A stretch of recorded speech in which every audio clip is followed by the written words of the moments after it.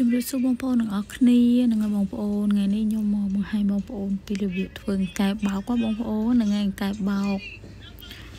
អឺខ្ញុំធ្វើញ៉ាំទៅវាឆ្ងាញ់ចឹងណាបងប្អូនអញ្ចឹងខ្ញុំនេះបងប្អូន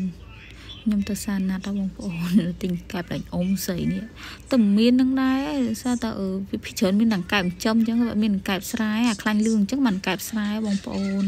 គ្រឿងផ្សំយើងមានជ្រូកបីជាន់បងប្អូនអានេះសាច់សាច់កែបងប្អូនខ្ញុំផ្លះចេញពីឆ្អឹងវានោះឆ្អឹងកភួនជើងវាបងប្អូនខ្ញុំអត់យកទាំងឆ្អឹងទេខ្ញុំយកតែសាច់សាច់ទៅឆ្អឹងខ្ញុំអត់ខ្ញុំអត់យកទេពួកអីដាក់ទាំងឆ្អឹងទៅញ៉ាំវាអត់ឆ្ងាញ់ទេវារៀងអឺ វាឲ្យញ៉ាំទៅទៅទៅចឹងអត់យកហ្នឹងហើយហើយនេះអឺកែបយើងលាងឲ្យស្អាតណាបងប្អូន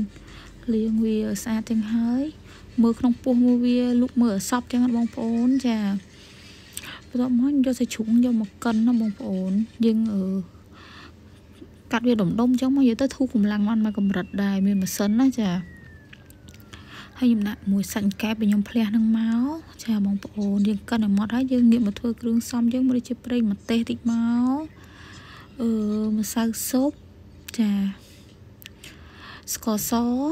ហ្នឹងហើយបងប្អូនស្ករសហើយមកនេះប៊ីចេងចាថែមប៊ីចេងបន្តិចអំបិលទឹកត្រីប្រេងល្ងបងប្អូនចាហើយនឹងប្រេងខ្យងបងប្អូនយើងកូរវាសពណាបងប្អូនកូរវាសពចូលគ្នាឲ្យ បន្ទាប់មកយើងយកមកចាក់នៅលើសាច់ដែលយើងកិនហើយខ្ញុំខ្ជិលដាក់ដួសដាក់អីផ្សេងខ្ញុំកូរនៅក្នុងម៉ាស៊ីនហ្នឹងបរយទៅហ្នឹងហើយហើយនេះអឺមានគ្រឿងបុកយើងហើយនឹងម្ទេសក្រហមបងប្អូនចាយើងច្បល់វាចូលគ្នាឲ្យសប់មកបន្ទាប់មកទៀតយើងដាក់សណ្តែកដីចូលបងប្អូនខ្ញុំដាក់ទាំងក្របដោយសារតែបើសិនជាបងប្អូនណាចេញញ៉ាំសណ្តែកដីទេគាត់អាចដកចេញបានអញ្ចឹងណាបងប្អូនហ្នឹងហើយហើយនេះស្លឹកក្រូចយើងហាន់វាជាអឺទៅ សាយសាយចឹងមកនឹងឲ្យឈ្ងុយបងប្អូនហើយនឹងអឺម្រះព្រៅបន្ទាប់មកយើងមកប្រឡាក់សាច់កែបយើងវិញហ្នឹងហើយមានគ្រឿងដែលយើងបុកហ្នឹងហើយនឹងម្ទេសក្រហមបងប្អូនបន្ទាប់មកដាក់ប្រេងខ្យងស្ករសអំបិលតិចទៅមួយមុខតិចមុខទីបងប្អូនគ្រាប់ប្រឡាក់ឲ្យវាមានជាតិចឹងណាហ្នឹងហើយម្សៅស៊ុបចាអឺបន្ទាប់មកទៀតប៊ីចេងតិចទៅបងប្អូនហើយនឹងទឹកត្រីបន្តិចទៅ ហើយប្រេងល្ងអញ្ចឹងណាបងប្អូនបន្តិចបន្តិចទៅហ្នឹងហើយគ្រាន់តែយើងយករសជាតិវាពីក្រៅអញ្ចឹងណាបងប្អូនចា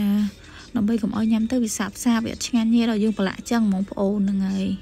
តែក៏យករសជាតិមកបន្តិចបន្តិចល្មមអញ្ចឹងទៅកុំឲ្យវាប្រៃខ្លាំងពេកព្រោះវាមាន snow ផងផងអញ្ចឹងណាបងប្អូនចា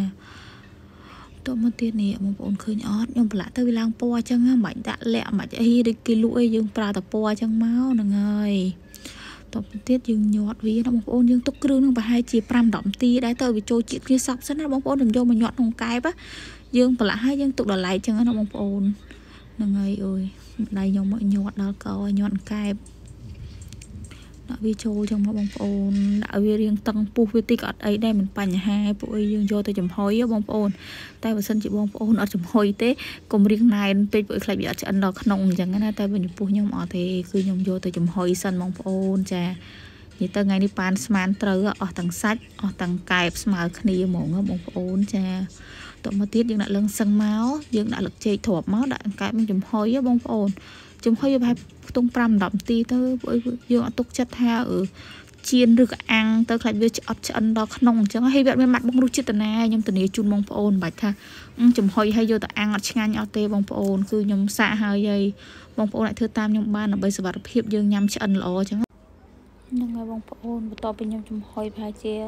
15នាទីវាឡើងអញ្ចឹងបងប្អូនចាហ្នឹងហើយបន្ទាប់មក ខ្ញុំដកយកមកអាំងខ្ញុំអាំងក្នុងម៉ាស៊ីនណាបងប្អូន ក្នុងម៉ាស៊ីនពងស្ងួតហ្នឹងបងប្អូនចាខ្ញុំអាំងប្រហែលអាំងយូរដែរដាក់កម្ដៅ150ប្រហែលជា30នាទីអញ្ចឹងណាបងប្អូនមើលវាក្រហមល្អអញ្ចឹង